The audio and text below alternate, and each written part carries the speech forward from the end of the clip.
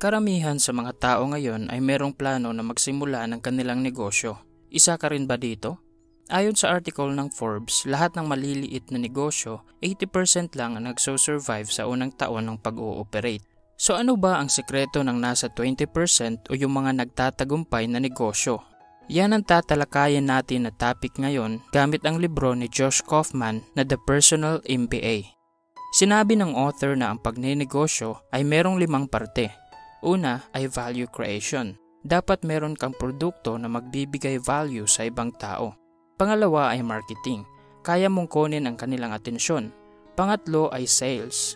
Gawin mong customer ang iyong mga prospect. Pang-apat ay value delivery. Nabibigay mo sa iyong mga customer kung ano ang pangako mo sa kanila. At panglima ay finance. Dapat alam mo rin kung paano magpapaikot ng pera.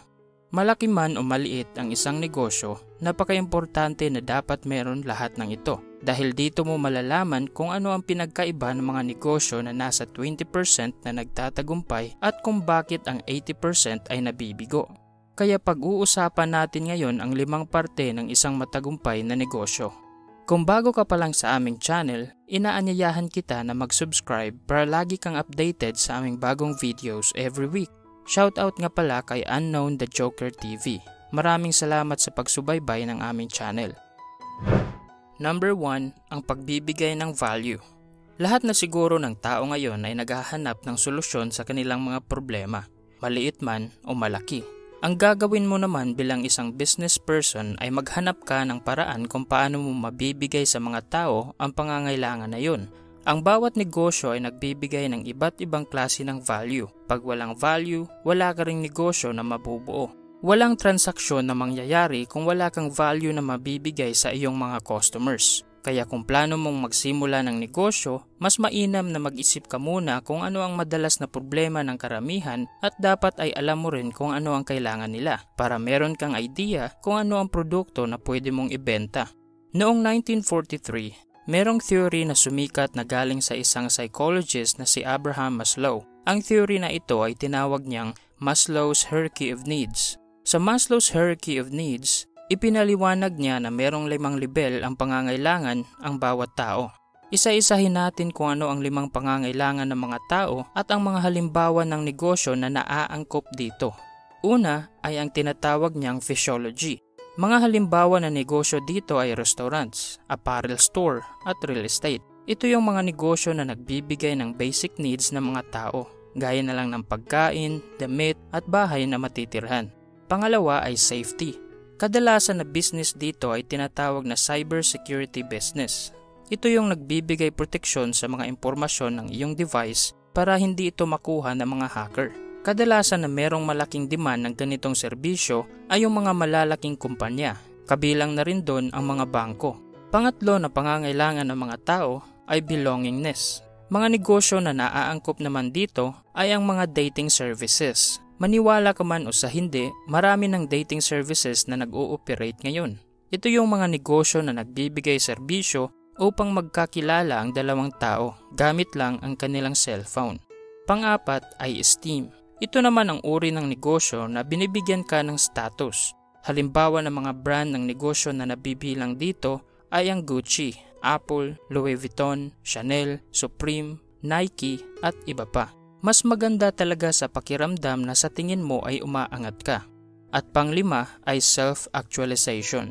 Sa panglima na level naman ay mga book publishers, training workshops, seminars, at academic programs. Ito yung uri ng negosyo na nagbibigay kaalaman o training tungkol sa isang bagay.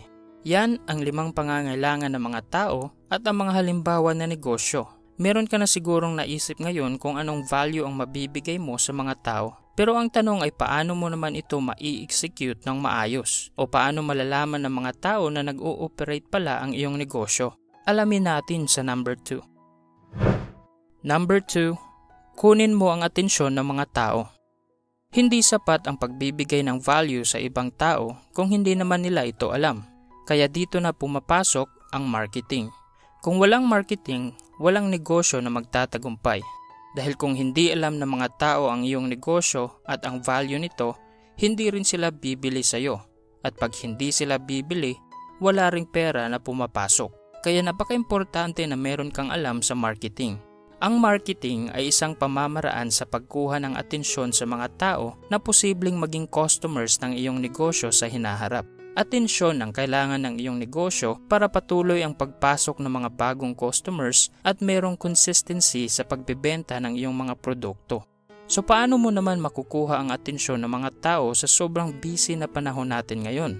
Una ay dapat hanapin mo ang mga tao na merong interes sa iyong mga ibenebenta. Aminin na natin na hindi talaga lahat ng tao ay interested sa iyong produkto. Kaya naman ay huwag ka nang magsayang pa ng oras, lakas at pera para ibenta yan sa lahat.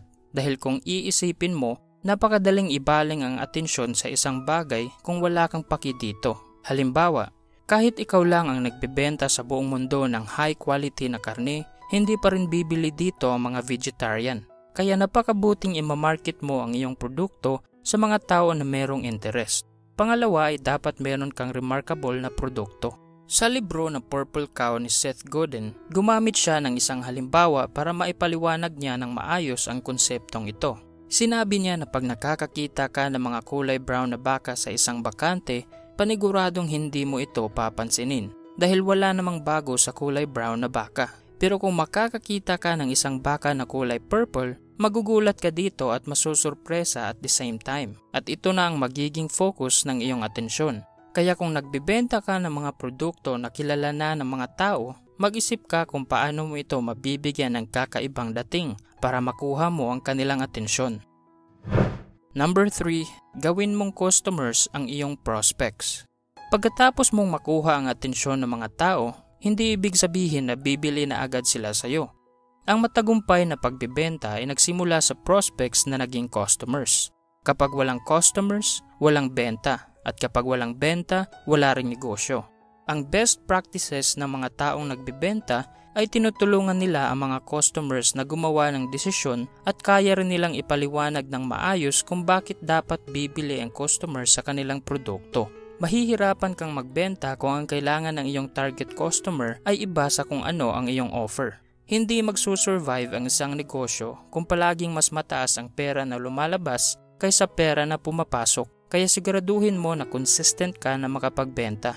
Ang sikreto naman sa consistency ng pagbebenta ay pag merong tiwala ang iyong customers sa brand at quality ng iyong produkto at makukuha mo lang ang kanilang tiwala pag napatunayan mo sa kanila na tapat at totoo ang iyong serbisyo. Pag-uusapan natin yan sa number 4. Ang patuloy na pagpasok ng income ay nanggagaling sa iyong ability ng pagbebenta. Kung hindi mo kayang magbenta, hindi rin magsusurvive ang iyong negosyo. Ang patas at tapat na pagbebenta ay ang rason kung bakit merong customers na patuloy na gumagamit at bumibili ng iyong produkto. Number 4, value delivery. Kaya mong magbigay ng value sa mga tao, makuha ang kanilang atensyon at posibleng bibili rin sila sa iyo. Pero ang tanong, ano ang gagawin mo para bibili pa ulit sila sa iyo? Siguro ay naranasan mo na na bumili ka ng isang produkto at pagkatapos mo itong gamitin ay sinabi mong hindi na ulit ako bibili dito. Maraming factor kung bakit hindi na ulit bibili ang mga customer. Isa dito yung mali ang tunay na quality sa kung ano ang nasa description o di kaya ay merong inconvenience sa delivery. Sinabi nila na ihahatid nila ang produkto in one week pero dumating ito pagkatapos ng isang buwan. Ang isang matagumpay na negosyo ay tinutupad kung ano ang kanilang pangako at nabibigay nila ang serbisyo na lagpas pa sa expectation ng kanilang customer. Gusto ng mga customer ang serbisyo na mabilis, reliable at consistent. Kapag nakuha ng isang customer ang kanyang expectation sa iyong produkto, panigurado na bibili pa ulit siya sa iyo at sasabihin pa niya sa kanyang mga kaibigan kung ano ang kanyang experience. Sa paraan na yon ay mas lalo mo pang mapapaunlad ang reputasyon ng iyong negosyo at mas lalo pang dadami ang darating na bagong customers. Ang mga nagtatagumpay na negosyo ay nabibigyan nila ng satisfaction ng kanilang mga customer, habang ang mga unsuccessful na negosyo naman ay patuloy na hindi nila na-deliver ng maayos ang kanilang serbisyo at posibleng ikalugi pa ito ng kanilang negosyo. Number 5. Finance Nagiging komplikado ang takbo ng negosyo pagdating sa finance dahil maraming area kung saan tumatakbo ang pera. Tumatakbo ito sa expenses, sa income, sa tax at sa sahod ng mga taong nagtatrabaho sa iyo. Pero madali mo lang maintindihan ang finance kung focus ka lang sa kung ano ang mahalaga. Dapat alam mo kung magkano ang pera na lumalabas at ang pera na pumapasok. Kung malaki ang pera na pumapasok ng iyong negosyo, Makakatulong yan para mas lalo mo pang mapaghusayan ang pagbibigay serbisyo sa mga tao. Ang pinakamahalagang parte ng negosyo ay ang pagkakaroon ng kita dahil yan ang indicator kung magpapatuloy pa ba ang iyong negosyo o hindi.